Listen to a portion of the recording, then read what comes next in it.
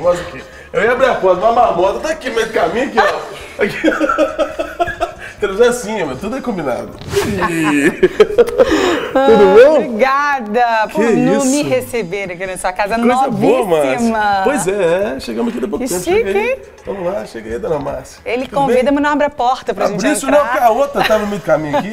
E aí, beleza? Que bom. Beleza, aí, que linda. A paz do Senhor esteja nessa casa. Amém, amém. Você sabe que a Bíblia diz que sempre quando a gente entrar na casa de alguém, a gente tem que ministrar a paz do Senhor. Que benção. É, tá Que é- linda que é essa casa, obrigado, linda, linda, A, parabéns. a cara é muito cuidadosa. Não está aqui porque tá com os meninos, foi levar os meninos na escola e não veio. É bom que os meninos deixam a gente fazer alguma coisa aqui, É. senão não, Ah, mas não. menino é tão bom, É que- né? que bom te Bagunça aqui. de menino. Muito Pois feliz. é. Eu que já fui na sua casa várias vezes. Então, pois é, eu vim Bom na sua. aqui, coisa e e fiquei sabendo que você sabe fazer coisas na cozinha, é verdade? Poucas coisas. Eu sou muito bom no churrasco, Ah, isso eu já que sabia. não era o caso de hoje. Nunca experimentei, só sabia teoricamente que ele era não, bom no mas churrasco. então, esse é um quadro do seu programa que tá de volta. Graças a Deus, sempre feliz aí que de volta. enfim, graças a Lindo Deus. e maravilhoso. Mas hoje eu vou fazer uma parada meio doida aí.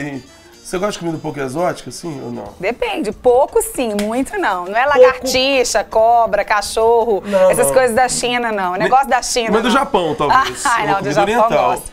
Polvo, Gosto. você já comeu polvo? Você gosta de comida japonesa? A produção tinha que ter te informado das coisas que eu não, como. Não falaram, mas não tem Ai. problema. Eu acho que tem muita gente Eu gosto muito do povo. do povo. Mas não do polvo. Do povo. Você já viu o povo antes de ser preparado assim e tudo? Já. É dar mais aflição, né? Dá, mas a gente, Mas a eu gente acho que se não, mas se você não quiser encarar, o que não falta é gente da produção pra ser de É cobaia. verdade, pra é verdade. Não, eu, eu posso, eu posso, até não sei se eu vou provar, não, mas eu vou, eu vou quem sabe? Vamos ver, surpresa. beleza. Vamos ver, surpresa. Vamos lá já? Vamos? Ó, lá?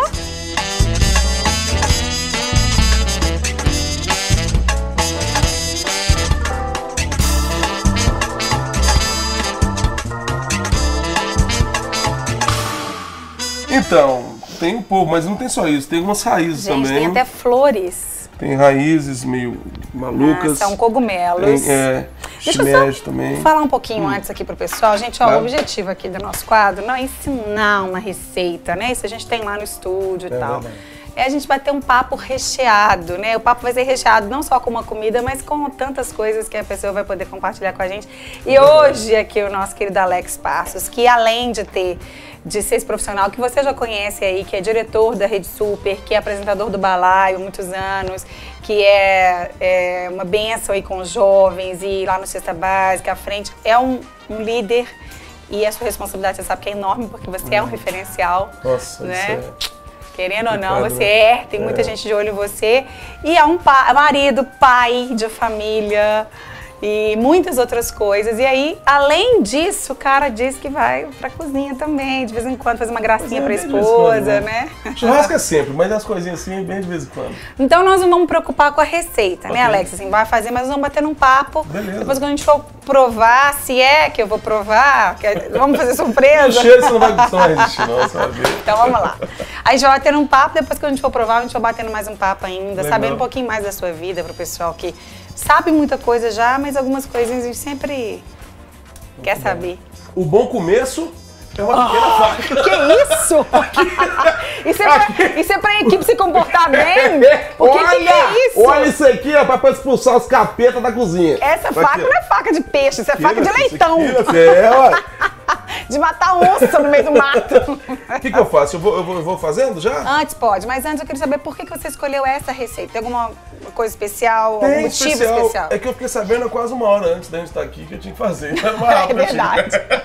Como foi uma Coisa entrevista muito marcada, com muita antecedência, eu lembrei o que, que eu sei fazer, que é Não. muito rápido. O que, que eu sei fazer? Essas coisinhas básicas que eu tenho no meu freezer. Não, mas não tinha, pois é. Não. Cogumelos chiquérrimos. Não, mas eu falei assim, não, é, que, eu posso fazer que no caminho de casa eu passo no mercado, já compro, já faço rapidinho. Aí eu pensei nisso aqui, que eu gosto, mas é uma coisa que eu gosto muito mesmo.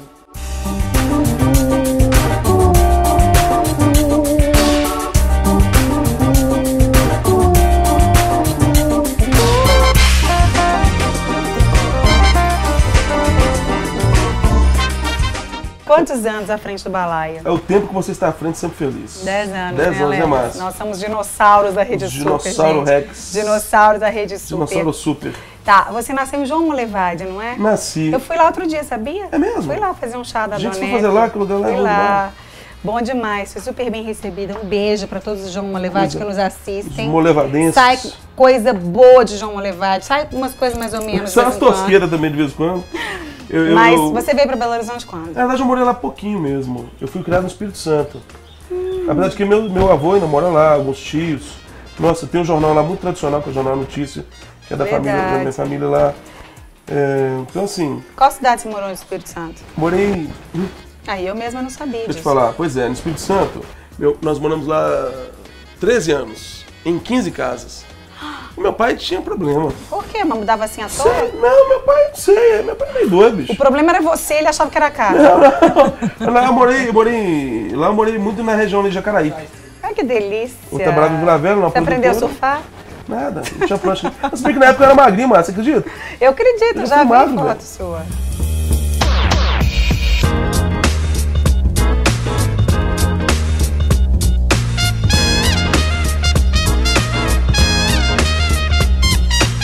Aí, depois vocês, o seu pai resolveu ir para Belo Horizonte? Como é que foi depois que vocês Não, na realidade, aí eu comecei. Ele, ele voltou pra João Molevade.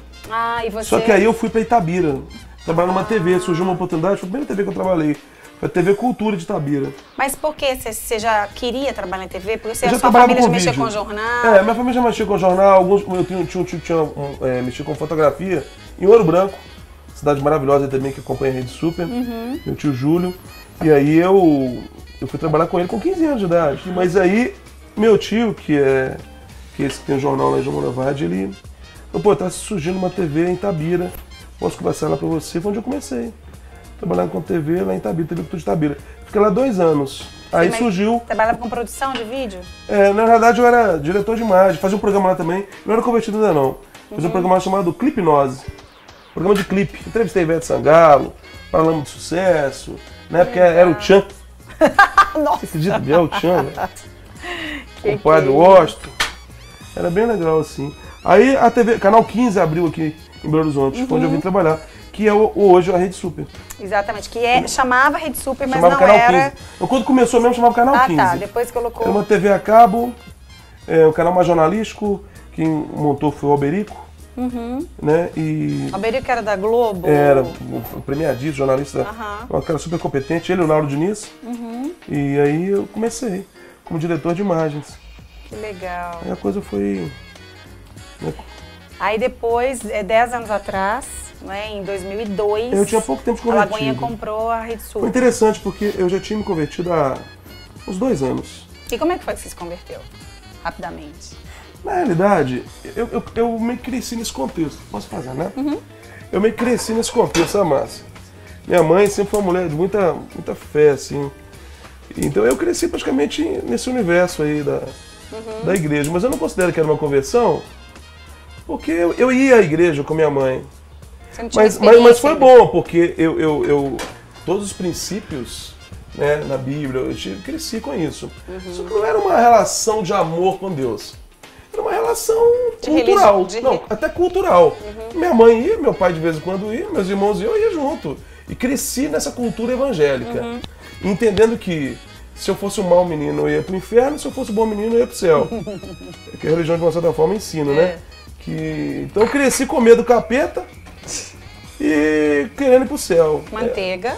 É, é, manteiguinha Com sal, sem sal, tanto faz? com sal. Ah, agora manteiguinha com sal. Vou colocar primeiro esses, esses, essas saídas aqui. São um pouco mais duras para elas cozinharem um pouco mais. Uhum, mas demora um pouco mais. Elas né? demoram um pouquinho mais. Dessa forma aqui. ó. Então eu comecei a.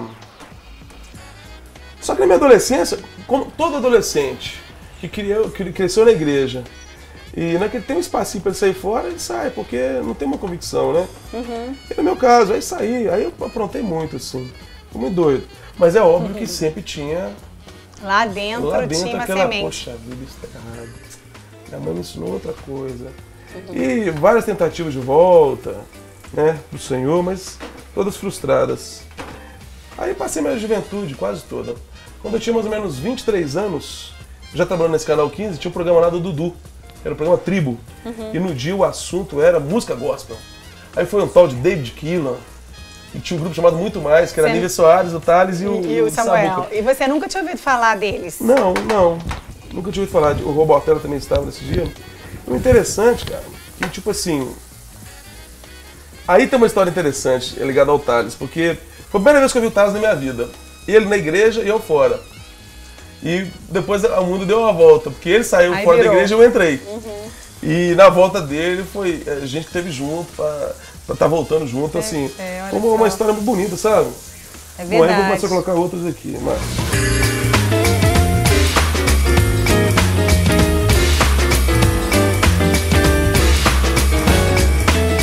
Mas o que acontece? Nesse dia eu achei muito interessante, assim. É, eu lembrei é, da minha infância, da minha adolescência, aquele clima ali gostoso. Eu visitei uma igreja, na época foi a comunidade de São Zona Sul, pastor Ney. Uhum, Foi beijo uma pra sexta-feira à noite. Foi uma sexta-feira à noite. Ô Márcia, foi uma coisa muito louca. Eu tava vindo mundão mesmo, assim, um, um longo período de muitas plantações mesmo. Uhum. Quando eu entrei no culto, era um culto de adolescentes à noite. Né? Porque quem comandava era o Marcelinho, que infelizmente Deus.